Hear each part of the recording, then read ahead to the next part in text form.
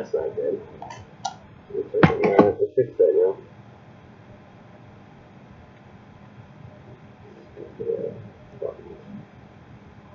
Well, that's broken. There's the button. Just came apart right there.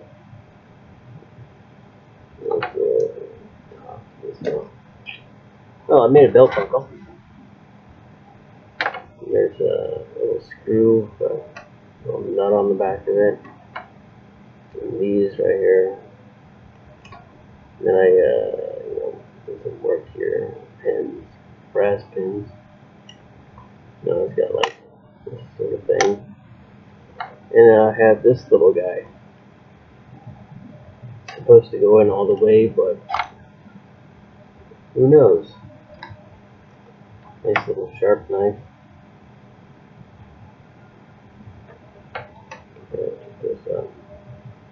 It actually goes in that far, but for some reason it clicks into place only that far, and now it looks like a little toaster. Little toaster belt buckle. I gotta like polish some of the scratches off, and then get some get someone to do some etching for it, and that'd be kind of cool.